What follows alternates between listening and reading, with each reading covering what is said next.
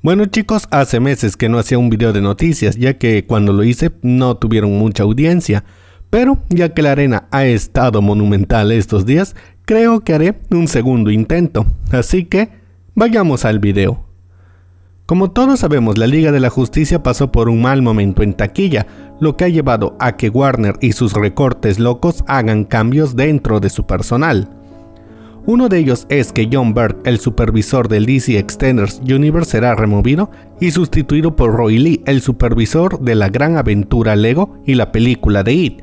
Y lo mismo pasará con Jeff Jones, quien pasará a ser únicamente un consultor y su participación en las películas de DC irá disminuyendo. Igualmente se espera que Zack Snyder no vuelva a dirigir ninguna película de DC, aunque continuará como un productor ejecutivo para La Mujer Maravilla 2 y Escuadrón Suicida 2.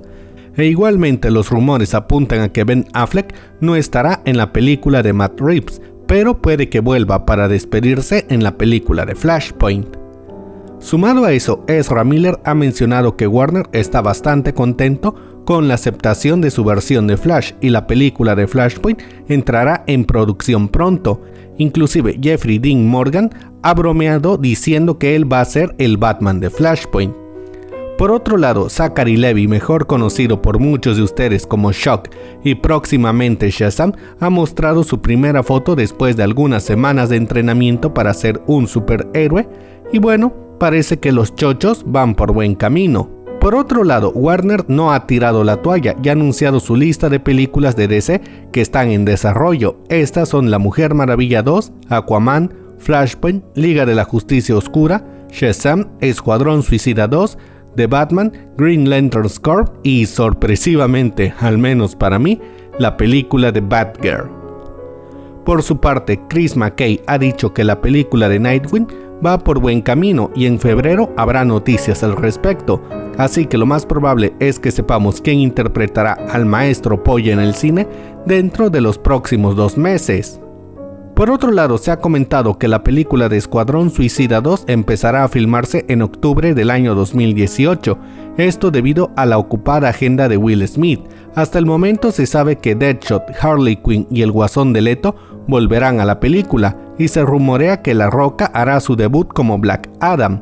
La película está siendo escrita y va a ser dirigida por Gavin O'Connor, mejor conocido por otras películas como El Contador, La Última Pelea o Cuestión de Honor. Por otro lado, se ha dicho que Kelsey Claymont, la actriz que había sido elegida para ser Iris West en la película de la Liga de la Justicia, podría ser removida de su papel para que así el director de Flashpoint pueda trabajar con un elenco propio. Y hablando de elencos de películas, la película de Shazam ha confirmado que los actores Ian Chen y Jovan Arman se unirán a Asher Angel, Zachary Lever y Freddie Freeman para la película de Shazam. A todo esto también se suma una declaración de David F. Sandberg, director de la película, quien afirmó que la personalidad de Billy Baxton será más acorde a los cómics clásicos y no será un niño rebelde como sucedía a inicios de Nuevo 52 y de último minuto y mientras escribía el guion para este video, se confirmó que Grace Fulton, actriz que participó en Annabelle 2, será Mary Marvel en la película de Shazam, así que prácticamente ya tenemos a toda la familia Marvel unida. En otras noticias de televisión se ha revelado la primera imagen de los personajes de Halcón y Paloma para la serie de los jóvenes titanes, y en pocas palabras, tienen mejor diseño que todos los personajes del CW. Y ahora vayamos al punto fuerte chicos. Como todos sabemos hace un par de días a la fecha de que se publicara este video, Walt Disney, el consorcio de entretenimiento más grande del mundo, ha comprado casi todo Fox, menos su sección de deportes y la de noticias. De esta manera Disney es ahora prácticamente el monopolio del entretenimiento. Pero de todo lo que podemos decir de esta venta, hay algo que debemos destacar y que sí puede afectar directamente a DC, y eso es el estatus que tendrán la serie de Batman 66 y las series actuales de Gotham y Lucifer. Pero dejen que me explique.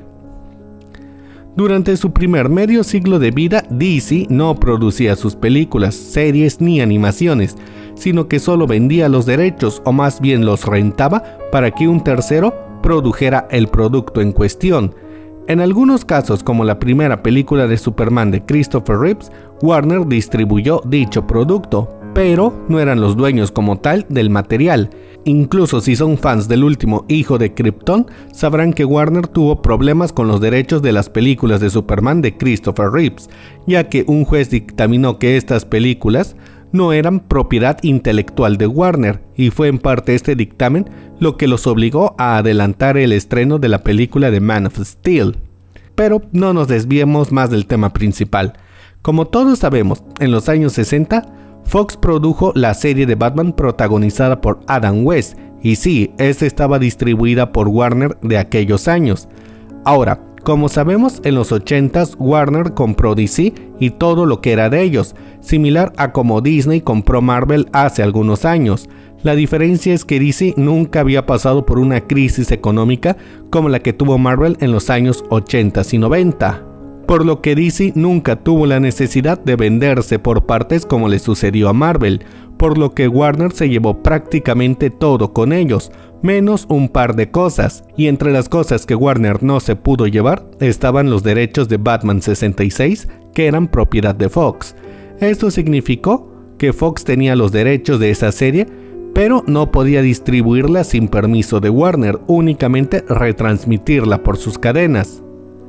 De hecho, los fans del murciélago no me dejarán mentir y sabrán que por décadas no existieron DVDs de la serie de Adam West, y esto se debía justamente a este problema. Todo esto cambió hace solo un par de años, cuando al fin Homero y Box Bunny se pusieron de acuerdo para sacar DVDs y demás mercancía de la serie de Adam West. Esto me lleva a la pregunta del millón. ¿Qué pasará ahora con esta serie? Bueno, de momento no mucho el contrato para distribuir DVDs y retransmitir las series ya está firmado y Disney no va a llegar a destruir todo así como así por puro gusto, por lo que lo más probable, al menos al medio plazo, es que la serie de West siga disponible como si nada, pero de una forma u otra, las ventas de DVDs y Blu-rays de esta serie y sus retransmisiones generarán dinero para Mickey Mouse. Y claro, a largo plazo existe la posibilidad de que Warner y Disney no puedan ponerse de acuerdo y la serie de West quede en un limbo donde no se pueda retransmitir o vender porque las compañías no se ponen de acuerdo acerca de las ganancias. Así que chicos, si son fans de esa serie, compren los DVDs antes de que sea muy tarde. Y ahora vamos a hablar de Gotham y Lucifer. Bueno, la situación de las dos series es la misma que tuvo Supergirl hace un año. En pocas palabras, Fox le pagaba cada año a Warner por una licencia para hacer uso de los nombres de los personajes y dependiendo del éxito de la serie, decidían si renovarla. Ahora, repito, Disney no es el demonio. Mm, bueno, sí, sí lo es, pero no es estúpido. Gotham y Lucifer generan dinero y por ahora tienen buenas críticas. Además, las series generan trabajos para la empresa, trabajos que se rigen por un contrato que dicho sea de paso, Disney no va a romper por puro gusto, a riesgo de crearse mala imagen laboral, sobre todo en un momento de tensión como este. Porque dentro de lo que cabe, Fox seguirá siendo Fox al menos por un periodo de tiempo, ya que la gente principal que ha dirigido la compañía no será despedida y sustituida, al menos hasta donde sabemos. Además, la prioridad de Disney no son las series de Fox, sino el MCU, así que Gotham y Lucifer seguirán con toda normalidad, al menos hasta el final de esta temporada. Pero después de eso, bueno, si Disney considera que no vale la pena económicamente, simplemente no pagarán la licencia y cancelarán las series, o por el contrario, Warner puede negarse a vendérselas un año más, o inclusive si las series continúan también existe la posibilidad de que el nuevo dueño quiera continuarlas bajo otro formato muy diferente al actual.